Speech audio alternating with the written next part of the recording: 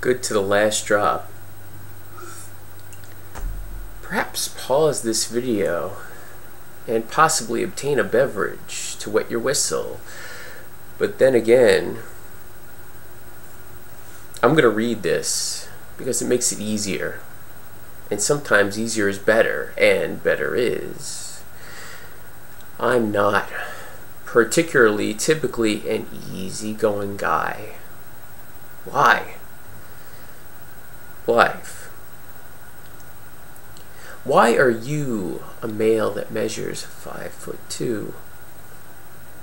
Fortune, genetics. It's also what brings this.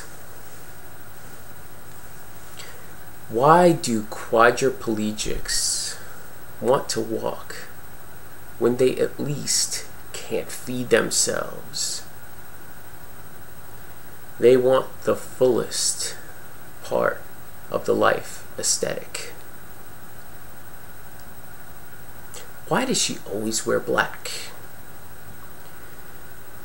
because pink was taken and she's too stoic to take it back. Thinking and questioning is shallow and easy. Going deeply is steeped in. Are you satisfied? At this moment, I think I